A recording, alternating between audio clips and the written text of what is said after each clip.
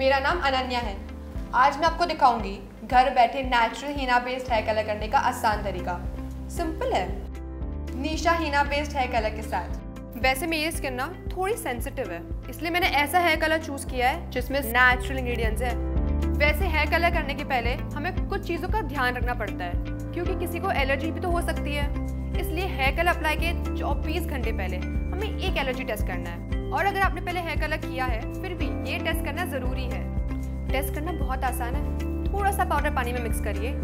एक ईयरबड की हेल्प अपने कान के पीछे अप्लाई करें। 24 घंटे तक फिर ना उसे टच कीजिए, ना धोइए। और अगर आपको कोई रिएक्शन नहीं होता है तो आप हेयर कलर अप्लाई कर सकते हैं। अपने बालों को शैम्पू से अच्छे से धो के सुखा लें।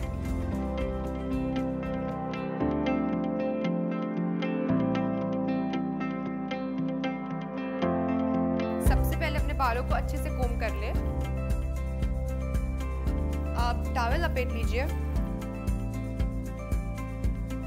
और उसे क्लिप कर दीजिए। और आप अपनी हेयर लाइन पे पेट्रोलियम जेली अप्लाई कर लें। आप ग्लव्स पहन लें। और पैकेट पे इंस्ट्रक्शन को ध्यान से पढ़ लें।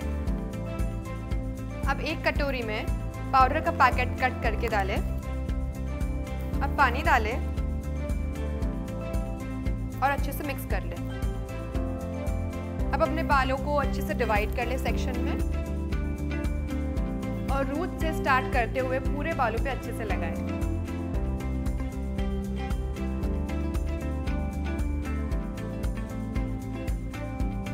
अब 30 मिनट तक इंतज़ार कीजिए और फिर पानी से अपने बाल अच्छे से धो लीजिए।